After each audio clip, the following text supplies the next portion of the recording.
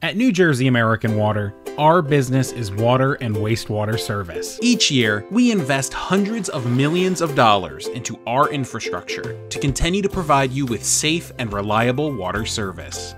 The money we use to invest in and improve our systems comes from your water bill, and when we file for a rate case, it helps us recover these costs so that we can continue to invest. A rate case is a time intensive process in which the goal is to adjust the rate customers pay for their service to match the actual cost it takes to provide it. This ensures that our customers are paying an appropriate price for their service.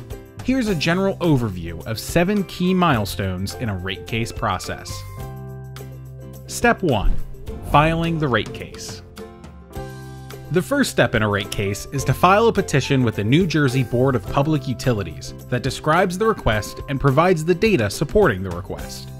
The New Jersey Board of Public Utilities, or the BPU, is the decision making body in these proceedings. It seeks to balance the interests of all parties to ensure the utilities provide safe, reliable service at reasonable prices. Step 2 The Pre Hearing Conference. Shortly after the rate case is filed, a pre-hearing conference is generally held to establish a procedural schedule, including filing and hearing dates.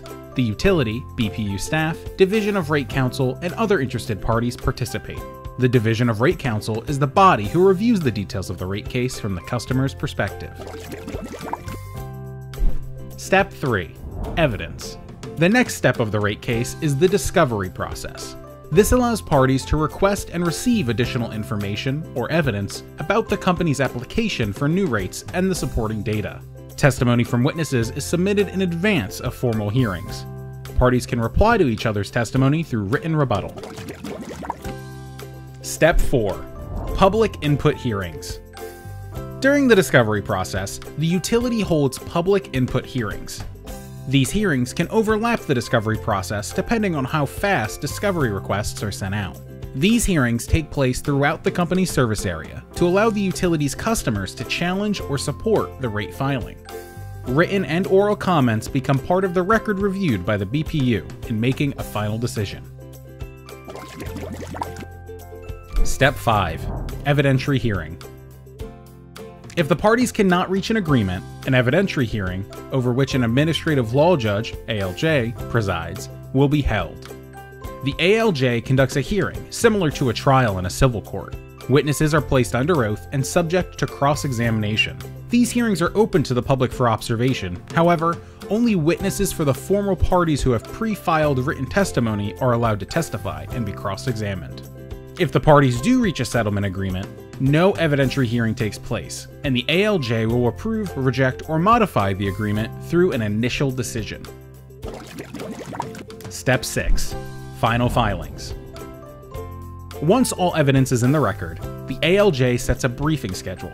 Briefs are legal pleadings that attempt to persuade the ALJ to accept a particular position. The ALJ will close the record after the submission of briefs and issue an initial decision. Parties may file exceptions to the initial decision. Step 7 Order. The last step is generally the BPU's final order.